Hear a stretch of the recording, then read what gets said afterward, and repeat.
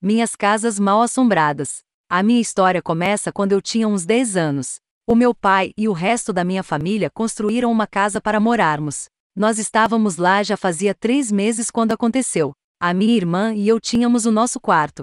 Quando nós íamos dormir, a gente fechava as portas dos armários, mas quando acordávamos na manhã seguinte, estavam abertas.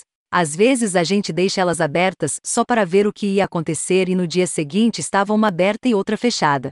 A minha irmã tinha cinco anos na época, e toda manhã ela saía correndo, e pulava na minha cama falando que a porta do armário estava abrindo. Outra coisa que acontecia na casa era que de noite, quando estavam todos dormindo, eu ouvia a gaveta de facas da cozinha abrir e depois fechar violentamente. E de manhã, quando eu acordava, umas das facas grandes estava no balcão, apontando para a porta da cozinha. Quando você passava pelo corredor, a luz apagava quando você estava no meio dele, ou acendia quando você menos esperasse. O meu pai checou a fiação da casa e nunca encontrou nada de errado com ela. Nós sentíamos como se tivesse alguém nos observando o tempo todo, isso me deixava apavorada. Nós nos mudamos dessa casa depois de um tempo, para morar perto da minha avó que estava doente.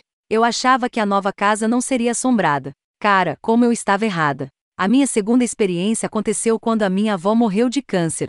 Quando ela estava no hospital, eu estava quase 300 quilômetros de distância viajando, mas eu vi ela sentada na minha cama numa noite, e ela me disse que tudo ficaria bem, e que ela nunca me abandonaria, e que quando eu me casasse e tivesse filhos, ela estaria ali comigo. Então ela me deu um beijo na testa e desapareceu. Depois que ela sumiu, uma sensação de tristeza tomou conta de mim, e eu sabia que ela tinha falecido. E três horas depois a minha família ligou para onde eu estava para falar que ela tinha morrido, na mesma hora que eu tinha visto ela na minha cama. A próxima experiência acontece praticamente todo dia. O meu marido, os meus dois filhos, 12 e 9, e eu nos mudamos para uma antiga casa de fazenda, 1930. Nós estávamos aqui há três dias quando os nossos filhos ficavam apavorados quando saíamos do banheiro e deixávamos a porta aberta. Nós não sabíamos o porquê, até que um dia eu fui tomar banho e deixei a porta aberta para tomar conta das crianças. Foi quando aconteceu comigo pela primeira vez. A porta começou a fechar devagar, e eu fiquei lá sentada na banheira olhando, até ela fechar toda. Não precisa nem falar que o banho acabou rapidinho depois disso. Mas se não tiver ninguém na casa, a porta do banheiro fica aberta. Bem, eu me acostumei com isso e até agradeço quando o que quer que seja que esteja fechando a porta.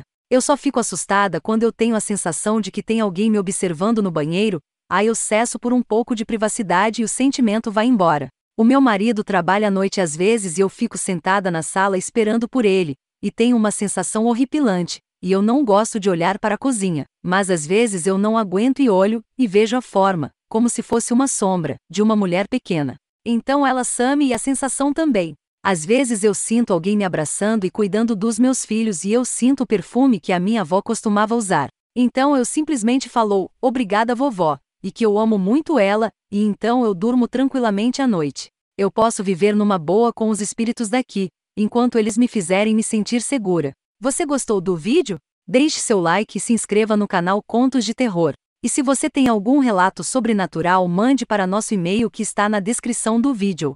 Segue nossa página no Facebook Contos de Terror. Aqui nós acreditamos em você. Até o próximo vídeo.